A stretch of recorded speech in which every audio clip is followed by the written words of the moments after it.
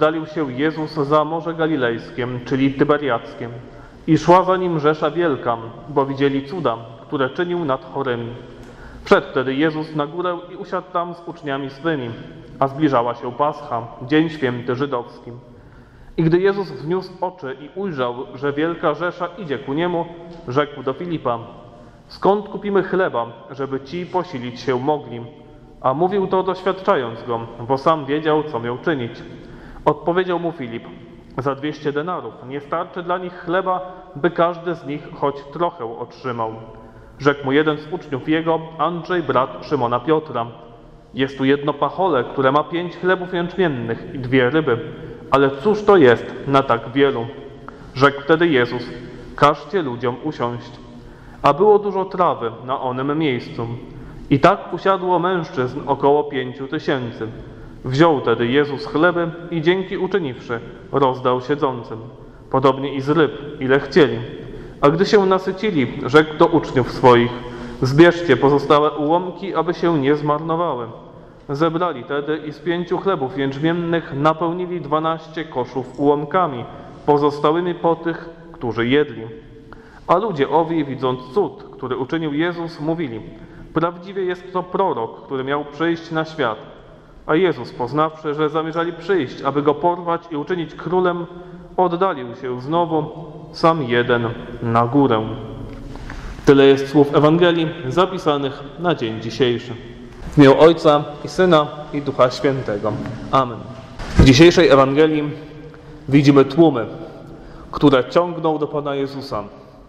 Tłumy, które nie mają co jeść. Przychodzą do Pana Jezusa, a ten w sposób cudowny rozmnaża chleb, tak że wszyscy najedli się dosyta. No i możemy sobie wyobrazić, że dla tych ludzi było to coś wspaniałego. Oni chcieli tam pozostać, chcieli, żeby tak było dalej, chcieli uczynić Pana Jezusa swoim królem, no bo przecież On dał im chleba. Ten sposób myślenia chyba zresztą nie zmienił się i do dzisiaj. Pan Jezus jednak nie pozwala uczynić siebie królem. Odsuwa się, odchodzi, aby się w samotności modlić. Jednak, aby tą scenę zrozumieć w jej całej rozciągłości, należy spojrzeć na to, co się dzieje później. Pan Jezus wraz z apostołami przeprawia się na drugą stronę jeziora, choć jest to pewne uproszczenie, bo Pan Jezus w tym momencie przechodzi przez to jezioro. Jest to również słynna scena, gdy Pan Jezus chodzi po wodzie. Natomiast nie na tą scenę dzisiaj chcemy patrzeć. Pan Jezus wraz z apostołami przebywa, przechodzi na tą drugą stronę jeziora i ludzie, którzy następnego dnia spostrzegają się, że Pana Jezusa nie ma. Oni widzieli, że apostołowie odpłynęli, ale nie wiedzieli, co się stało z Panem Jezusem. No i zaczynają Go w panice szukać. No bo przecież było tak pięknie. Oto Pan Jezus najpierw ich nauczał, później nakarmił ich chlebem. I dlaczego by nie miało być tak dalej? Dlaczego by to nie miało trwać? No i zaczęli oni szukać. Pojawia się jakiś tam pewnie niepokój, dokąd on poszedł. No i w końcu, gdy go znajdują po drugiej stronie jeziora, zadają pytanie: Panie, jakżeś ty się tu dostał? Jak to się stało? No to ma znaczenie w kontekście tego, co za chwilę będzie powiedziane.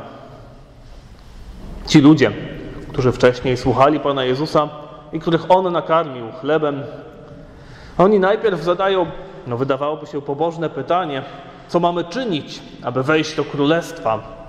Gdy Pan Jezus zaczyna odpowiadać, to zdradzają swoje zamiary kolejnym pytaniem.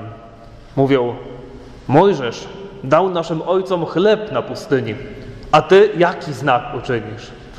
A więc pamiętając dobrze, co się wydarzyło, no prowokują Pana Jezusa, żeby znowu tak zrobił, żeby znowu uczynił taki znak. No bo Mojżesz dał chleb na pustyni, no a ty co zrobisz?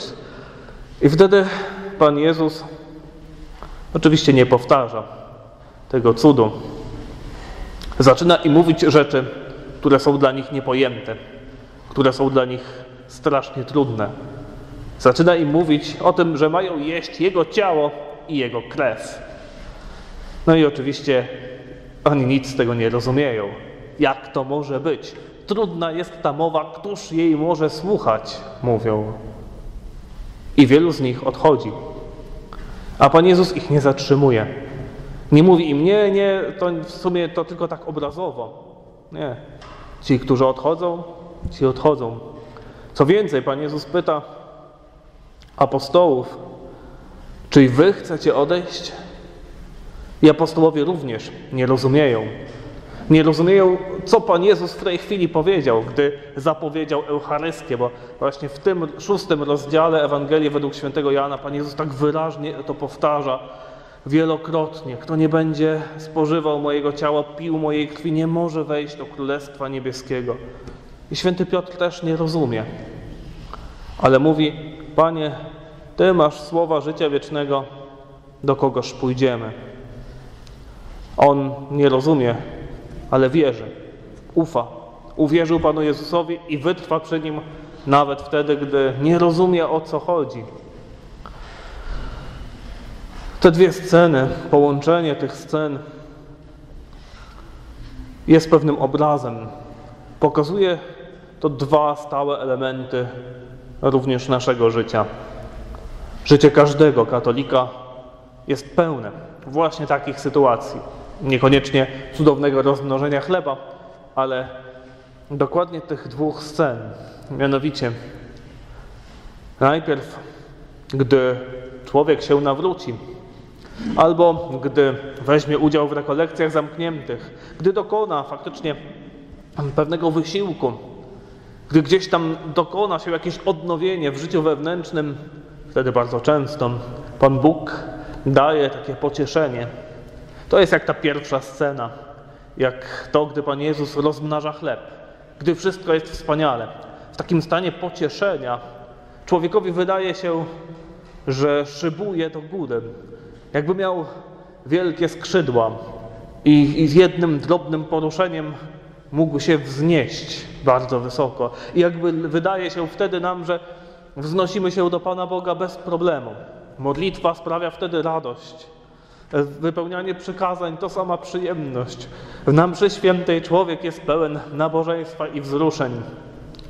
Taki stan nazywamy stanem pocieszenia. I tak samo jak ci Izraelici, którzy jedli chleb, człowiek, gdy zazna tego stanu, no to chciałby, żeby on trwał, bo ma wrażenie, że wtedy się przecież uświęca. No bo tak pobożnie wszystko spełnia, bo tak dobrze przecież to wszystko idzie. Ale Pan Jezus tego nie chce. Pan Jezus ma inny plan. I po takim czasie pocieszenia musi nadejść również czas strapienia. Tak jak do tych uczniów, Pan Jezus zaczął mówić rzeczy trudne, niezrozumiałe, wystawił ich na próbę. Tak samo w życiu każdego katolika musi nadejść taki moment, kiedy te pocieszenia znikają, kiedy wypełnianie przykazań nagle staje się tak trudne, kiedy modlitwa staje się taka pusta, tak trudno w niej wytrwać i człowiek ma wrażenie, że nic z niej nie korzysta. Kiedy uczestnictwo we mszy świętej wydaje się być jednym wielkim roztargnieniem.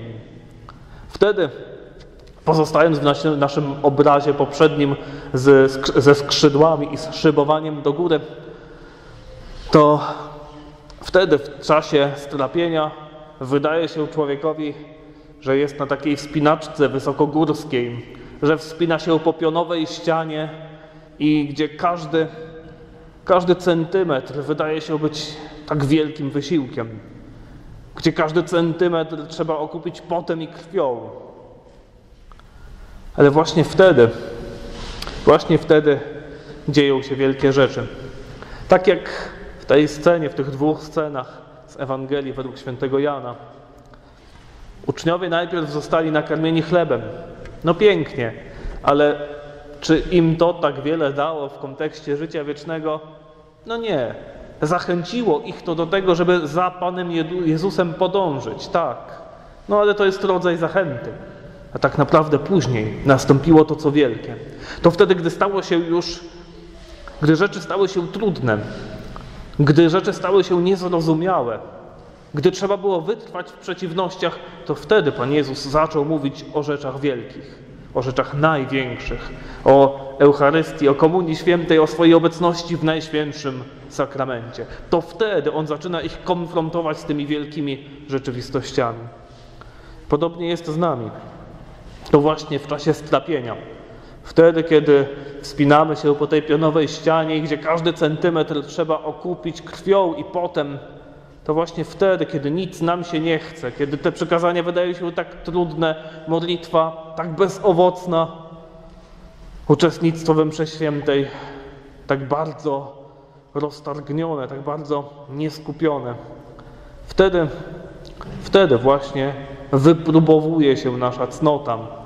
Wtedy właśnie nasze siły rosną, gdy mimo tego trudu, gdy mimo tego, że przychodzi nam to tak bardzo niechętnie, tak ciężko, gdy nie znajdujemy w tym żadnego pocieszenia, gdy mimo wszystko trwamy na modlitwie, gdy przystępujemy do sakramentów, gdy próbujemy mimo wszystko wejść, właśnie wspinamy się pod tą górę, to wtedy nasza wola staje się silniejsza. Nie wtedy, gdy Pan Bóg daje nam te skrzydła, dzięki którym wznosimy się tak szybko, wydawałoby się nam do góry. Tylko wtedy, kiedy każdy centymetr musimy wywalczyć sobie pośród tych wszystkich trudności, to wtedy człowiek naprawdę się rozwija. I Pan Bóg oczywiście o tym wie i dlatego chętniej daje nam te czasy strapienia. Gdy święty Jan od Krzyża mówi o nocy ciemnej, to tak naprawdę mówi mniej lub więcej właśnie o tym. To noc ciemna, słynna, Janowa noc ciemna, to jest, można powiedzieć, taki stopień zaawansowany tego strapienia. Ona w dosłownym tego słowa znaczeniu dotyka zakonników, zakonników, którzy nie prowadzą życia czynnego. No, święty Jan mówi, że nikt, kto żyje w tym świecie, nie byłby w stanie udźwignąć nocy ciemnej. Ona jest takim stopniem zaawansowanym właśnie tego strapienia, gdzie człowiek, który poświęcił się Bogu całkowicie, zostaje gwałtownie oczyszczony tą wielką ciemnością, tą nocą ciemną, która można powiedzieć, że rozrywa tą ludzką duszę w cierpieniu w ten sposób, że oczyszcza się, wzmacnia się, rośnie niezwykle szybko. Święty Jan od Krzyża zauważa, że ci, którzy prowadzą życie bardziej aktywne, czy to osoby duchowne, czy osoby świeckie, doświadczają tej nocy co najwyżej właśnie w formie takiej załagodzonej, takiej miękkiej, właśnie poprzez pojedyncze elementy, poprzez poszczególne fragmenty, gdzie dusza doświadcza strapienia. Święta Katarzyna ze Sieny, mistyczka,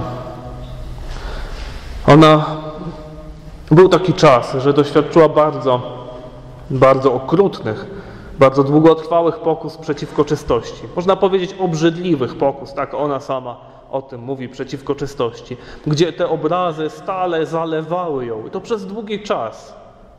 To było wiele dni, kiedy pokusy przeciwko czystości zalewały jej umysł. I gdy po dłuższym czasie ponownie Pan Jezus zaszczycił ją jakąś wizją, to ona taka umęczona, przekonana, że wielokrotnie zgrzeszyła, pyta Pana Jezusa: Panie, gdzie Ty byłeś? I on odpowiada: Cały czas w Twoim sercu. I to było dokładnie to. Znaczy, ona była poddana pewnej próbie, musiała przewalczyć, musiała przejść tą próbę. I Pan Jezus cały czas był w jej sercu, to znaczy, że nie zgrzeszyła pośród tego wszystkiego, a przynajmniej nie ciężko, kto wie, czy być może nawet, być może nawet nie było w tym grzechu lekkiego. Pan Jezus cały czas był z nią, wspierał ją swoją siłą, ale w sposób delikatny, subtelny, pozwalając jej doznać swojej słabości, pozwalając jej walczyć z tym wrogiem. Oczywiście Pan Jezus dokładnie wie, na ile można nam pozwolić wypróbować tych swoich sił, z jakim wrogiem się zmierzyć możemy. On doskonale nam tą siłę wymierza. Prośmy Pana Jezusa dzisiaj o to zrozumienie, zrozumienie tej Bożej pedagogiki, o to, żebyśmy nie szukali ciągle takich duchowych słodyczy, tego, żeby nam było przyjemnie na modlitwie, tylko żebyśmy szukali tego, co naprawdę nas rozwija, Żebyśmy naprawdę byli gotowi przyjąć z Bożej ręki wszystko, co On nam da. I żebyśmy w każdej próbie, nawet tej najcięższej, skądkolwiek by ona nie przyszła, czy to zewnętrzna pokusa, czy wewnętrzna, jakakolwiek by ona nie była, żebyśmy w każdej próbie przy Panu Jezusie wytrwali i w ten sposób może powoli, ale jednak naprawdę się do Niego zbliżali. Amen.